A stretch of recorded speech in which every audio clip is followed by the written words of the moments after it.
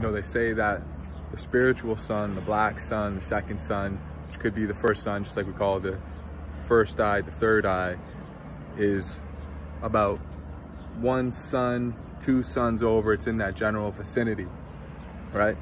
So when that sun is above us and the angles, the way these angles play out, we, we just may not be able to capture that sunlight. But when it gets into these other areas and the angles change, that's when we're actually able, this light kind of softens, these rays aren't so abrupt on our eyes and now we're able to capture these, like the other type of wavelengths, right?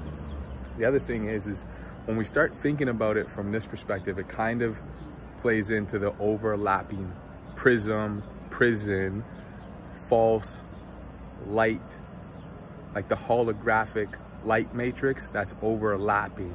If that is the case, we can literally see how this sun that we can we can waitingly see is what's providing this light matrix that's over top of us. Then we have the spiritual that we know is around, but we just can't necessarily verify it. That's why it's easy to, for people to fall into this agnostic state. But when you know, you know.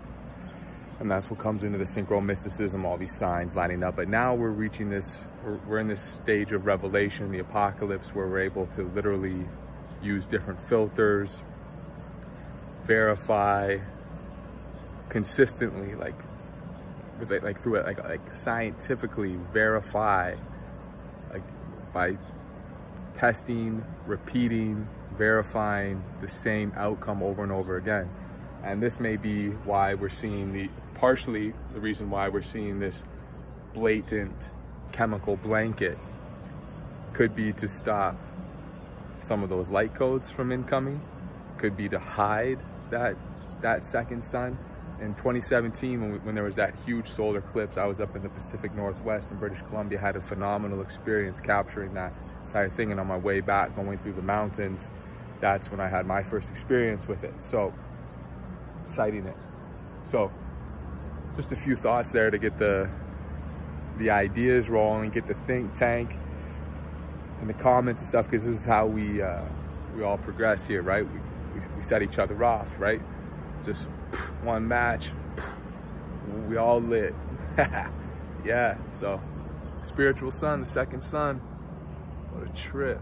Nala, where you at? Gee. It's beautiful.